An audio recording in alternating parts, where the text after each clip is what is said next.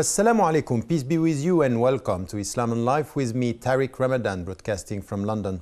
In today's show, we ask the question Would Britain keep Babar Ahmad and Talha Ahsan imprisoned without trial if they were not Muslims?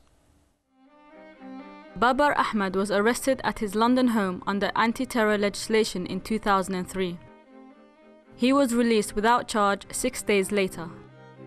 Ahmad was rearrested and imprisoned in 2004 following an extradition request from the US. He is the longest detained without charge British prisoner.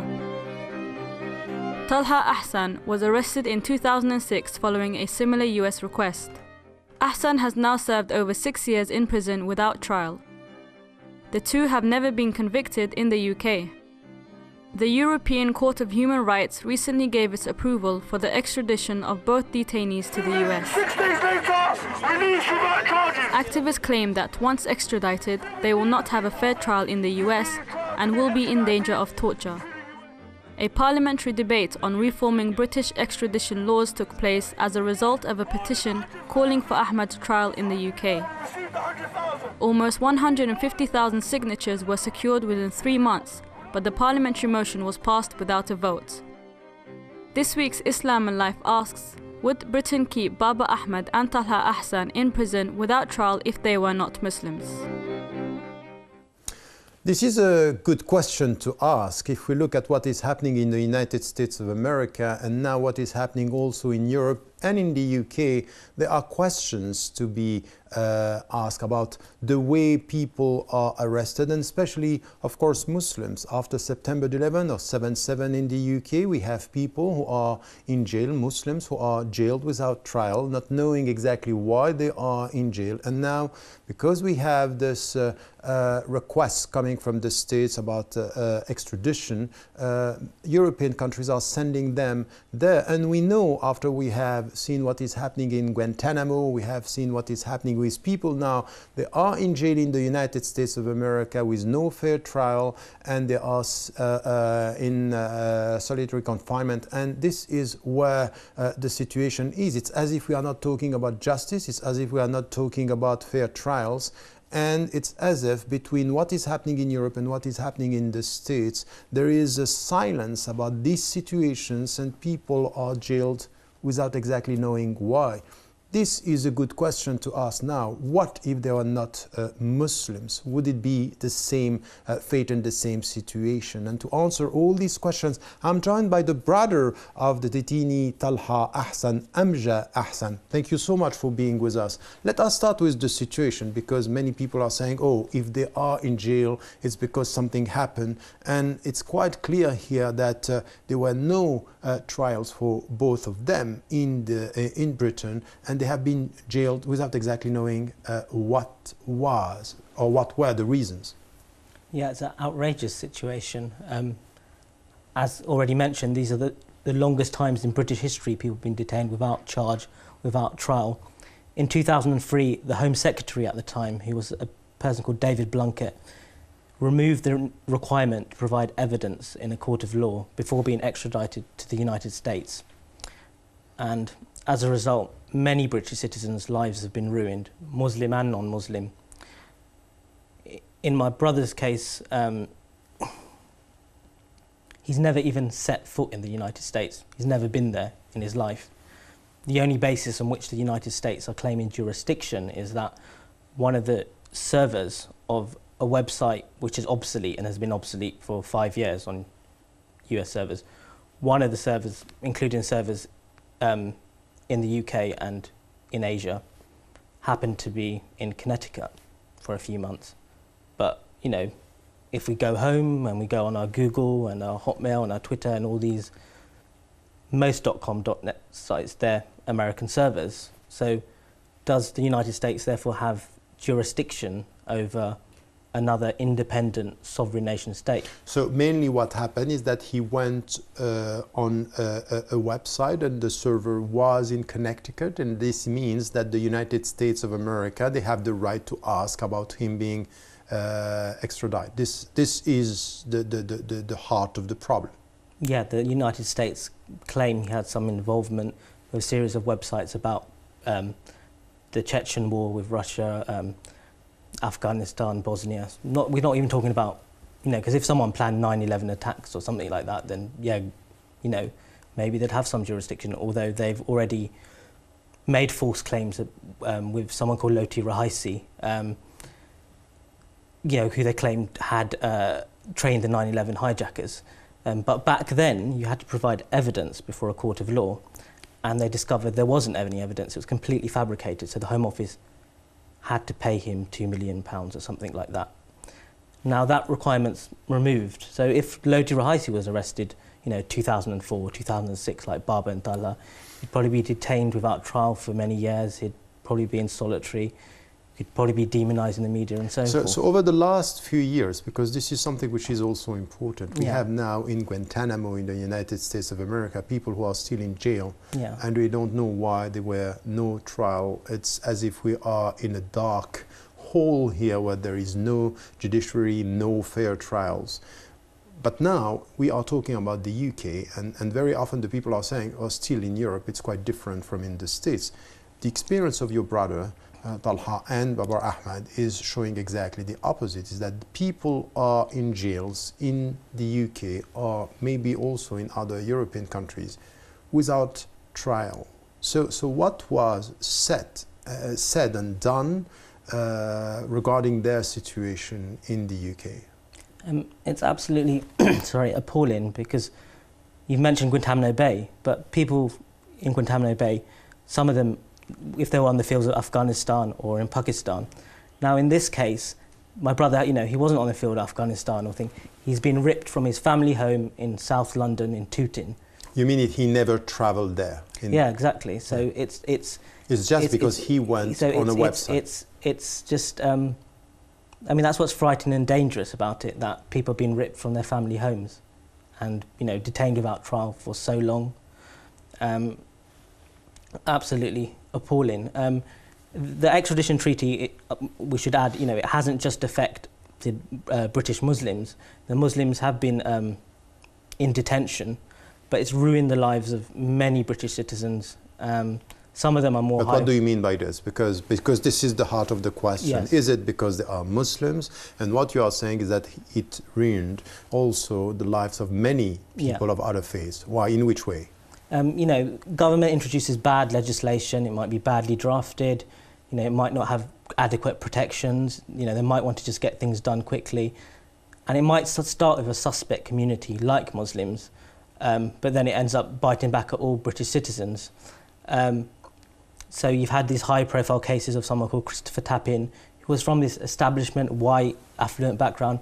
He's been extradited to America. You had someone called Gary McKinnon, who America claims hacked into their computers. He's go- he might be extradited very soon. Um, the, but the, the thing is, and my heart and all Muslims should support all these, because. Muslims, Islam's a you know religion of justice, so they should show solidarity with all these cases, you know. But that being said, um, for example, Talha is diagnosed with something called Asperger's syndrome, which is a Hmm. form of autism.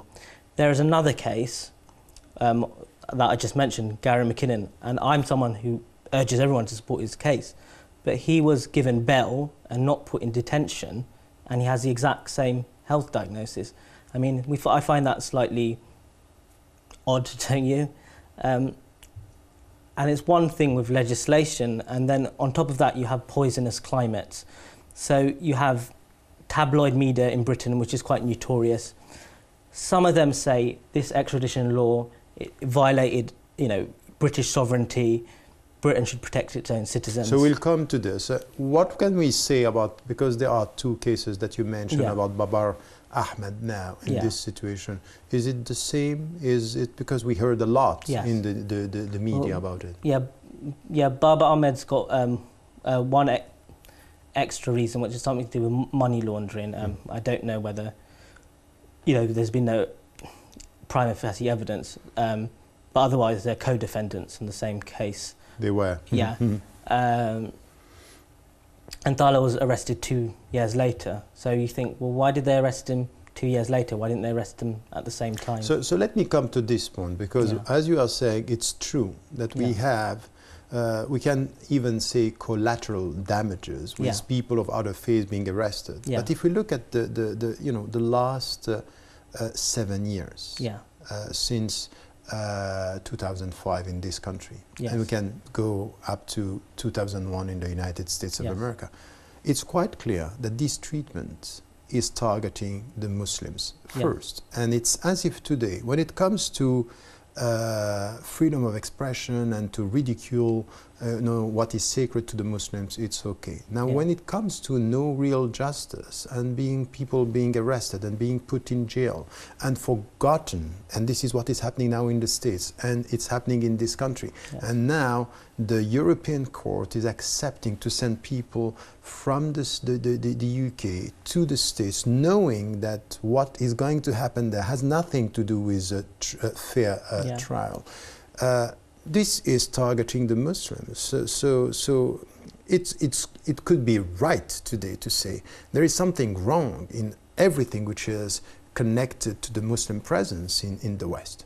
Yeah. Would you would you say this? Is this the feeling that you can have when you are dealing with the whole story? I mean, I've looked at other um, cases. For example, there's many Christian uh, terrorists who killed and murdered abortion doctors. They haven't been put under isolation. They haven't been put under solitary confinement. They haven't been put under strict regimes. They haven't been denied access to their family. Then you have British, Pa- um, American, Pakistani citizens, and um, someone called Fahad Hashmi was one of the first extradition cases, and he was put in years and years of solitary confinement until he, you know, broke down and was bullied into plea bargaining. I mean, so again, you see these disparities there. So, so what does it mean for you, who you are the, the, the brother of someone who is just is appalling what is happening, and Yeah. now the decision is that he can be uh, extradited, and, and, and once again we don't know what is going to happen in the states. Uh, now it's as if even the, the, the Western Muslim citizens, it's true in the states, it's Mm. true in Europe, they are scared to talk about this. They say, Yes. okay, if these are people who are on the margin of the community, okay, Yeah. it can be they can be one, two, three. It's, Yeah. it's, it's, you know, it's not a huge number of Yeah. people, but in fact, it's revealing something which is completely wrong in the whole mindset. Is at the end of the day, you can deal with Muslims, detainees, in, in, in Muslims and in jail inmates in a way which is not respecting the human dignity. Yeah. So, so how, which kind of discourse, what could, should be said to not only the Muslims, because you are very uh, clear on this, it's not targeting, uh, we, we should talk to the citizens, but which, which kind of discourse, what should be on, uh, on heard and understood by the, the, the Western citizens now? we I mean, we've always been told, oh, integrate, you know, show what citizen, you know, integrate with citizenship. And as, as just mentioned, 150,000 people almost, you know, signed this petition to have Babar and Talha, British citizens, Talha who's never been to the United States, tried in the UK. And through all their engaged citizenship, they've been alienated, they've been, you know, rejected. They've, they've gone, you know, most of parliament in this country is against the extradition law. Um, I think something like 85% as polled by Liberty. Um, and so we've gone through parliament, we've gone through civil actions, and still structurally they're not, you know, listening, they're alienating us, you know, whilst we're wanting to be engaged. Hmm. But you know, we are here in the UK. Do you feel that the reaction of the, the British Muslim citizens Yeah. it's the right one?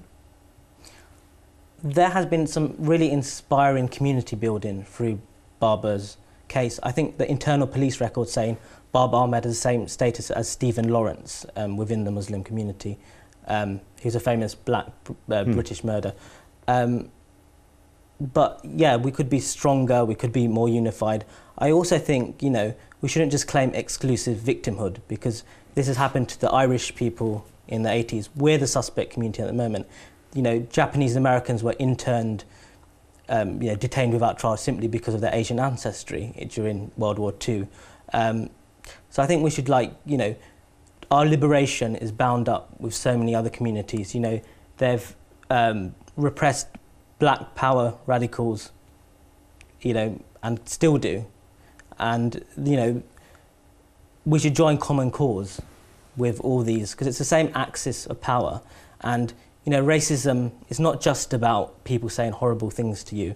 And the media have said horrible things. But things. would you say, for example, that what is happening to Babar Ahmed and your brother is racism? Um, the media reaction by some of the right-wing tabloids are certainly not treating the white British citizens um, in the same way as the Muslim, you know, brown citizens. You know, Mm. they split. But this is exactly the point. good Just, the uh, let, yeah. let me put it clearly this question. If he was not a Muslim, do you think he would have been treated the same way? They seem to have this preemptive thing with Muslims. You know, the cornerstone of justice is supposed to be, you know, your innocence until proven guilty, Mhm. not, you know, guilty until proven Muslim. You know, so. Mm. I mean, I when I was younger, I used to see all these stickers saying guilty until proven Muslim, and I was cynical and thought, oh, come on. And then, you know, when they came and raided my house, you know, I had police officers raiding my house at the request of the United States, and they asked me questions like, do you have any Qurans in the room? I just thought, hang on, why you do you ask asking me about that? the Quran in your room. Yeah, I was just, Hmm. he was asking me that as a question. I thought, what kind of question is that? It was really bizarre. So, How, how do you understand this? What does it mean? Does it mean that once again, you know, you were saying that the Muslims should not uh, play, you know, uh, victimhood and being the victims or to feel the victims. But, you know, if you have police coming to your house and asking if you have Quran in the house, it means something which is quite heavy on the Muslim presence in this country. Yeah, um, you know, I, I'm not claiming we haven't had wrongdoing or structural mistreatment, um, but um, we should. It's often the same axis of power um, against us. Um, you know, as you know, racism is also about a neglectant state because the first duty of a government is to protect its own citizens. Yeah. So our British Muslim citizens, you know, they should be seen as equally as you know a white British, you know, citizen in- the first place. But um, whilst there's unity amongst the non-Muslim and Muslim extradition cases, they, you know, the some very unscrupulous MPs or cabinet members, they was trying to split us. Hmm. So But this is exactly what is happening, and I think Yeah. that this is a signal that is sent to the to the to the British Muslim citizens. At the end of the day, look at what is happening on what is perceived as the margin, the way the people are treated in jails, the way they are put in jail, the way they are forgotten in jail, and come to the mainstream civil society and be involved in the in in in, in anything which has to do with uh, justice, equal treatment, and equal citizenship. It's quite clear by the way that we see the people are treated and the suspicion that is there Yeah. on some Muslims that there is something wrong in the whole narrative in Britain, the narrative in the West, and the narrative in the United States of America, which comes to the question when, which was asked uh, uh, about Barack Obama when Colin Powell was saying, "What's wrong if he is a Muslim? He's not a Muslim, but what's wrong if Yeah. he is a Muslim?" As if there is something which is wrong in the perception. Now, if we want to change this, you are involved at the grassroots level. You saw what happened to your brother, which is appalling and, and even not acceptable just to send someone not knowing what is going to happen there. And there is something which is soft torture in jail, in, in the US jails now, Yeah. when you have, you you are alone in one room, no, uh, uh, always with light, no discussion, nobody. This is psychological torture. So how can we react to this? What would be, from where you are, uh, something that we have to do? What how we can be involved in the society just to make uh, uh, the the British Muslims and the Western Muslims realize that this is a big struggle. This is important. It's not marginal. that's a really big question. Mm. Um, well, it's only today that I received the negative judgment. So, yes, but we went. You went through all the process, and you saw how much there is disrespect and no real justice. yeah, so that fresh in my mind. Um, you know, I'm still thinking, what, what, what is there left to do? You know, um, I've toured the country. I've, you know, we've done petitions. We've gone to our MPs. We've, you know, built a multi-faith coalition. We've got left-wing, right-wing people of, of all persuasions. Would it be? Do you think that something should be done in the states wh- when he arrives, and, and something that has to be done there? Well, we'd, we'd um, demand some form of repatriation to Britain because some of the other extra, early extradition cases, such as the NatWest Three Bankers, they served half their time back in Britain. Um, and after the trial over there. Yeah, mm. after a plea plea bargain, because okay. you'll mm. be forced into a plea bargain. Mm.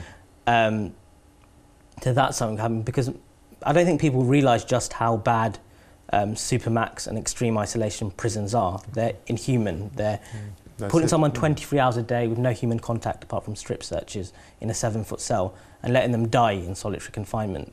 It's, you know, that's not that's just not a way to treat someone, let alone someone like my brother who has Asperger's syndrome and is a vulnerable person. You know, I think half of all prison suicides take place in these conditions. Um, so, so. But that's, that's, that's important to say and to repeat it for the people to know and to understand that they have to be vocal yeah. on, on, think, on yeah, these the, issues. The, fighting against power is about keeping things in public memory, you know, the war of memory against forgetting. So make sure Talha is not forgotten, make sure Babar's not forgotten. And not only that, their, their, their level of strength and courage in, in front of all this adversary, in front of you know, being abused or beaten up by the police in Babar's case, that's an inspiration to um, um, you know, ordinary Muslim citizens. Thank you. Thank you so much for being with us. And I think that during this discussion, uh, there is something which is essential. It's just not to forget what is happening and to understand what is happening, which is the way people are treated. And it's quite clear in these two cases, but in many, on many others, that the fact that they are Muslims is as if today the blood and the dignity of a Muslim is less important and they can be treated and no one is going to talk when there is suspicion, uh, we can just go with it. And I think that this is with your presence, with the fact that we are talking about it, in the UK, but also in the West, in Europe, and in the United States of America, is to say the dignity of these countries will be uh, when these uh, societies are going to treat people equally, and Muslims among them, because Muslims, uh, as any human being, they have to be treated with fair or through fair uh, trials, which is not happening today. And we have people in jail, they don't know why they are in jail, and as you said uh, at the end, to keep it alive, to talk about it, and to make it clear that we are not going to forget them, and we still are struggling for more justice in our society because this is not a dignified way to treat human beings. Well, that's all we have time for. Please let us know your thoughts and views on any of the shows you have seen, and this is the way to contact us. Islam and Life welcomes your opinion so please send us your suggestions as well as criticism on any of the shows you have seen or you would like to see. You can do all this by emailing us at islamandlife at presstv.co.uk. You can also be part of our online platform by joining our Facebook page, Islam and Life on Press TV, where you can share your thoughts with other Islam and Life fans, engage with debate, and view past shows. Finally, I would like to thank my guest, Amjad Ahsan. Thank you so much for being with mm, us. Thank and we are with you, with your brother, and with Babar, and all the people who are treated in an unjust way in jails and elsewhere. Thank you for your presence, and I hope to see you next week, inshallah.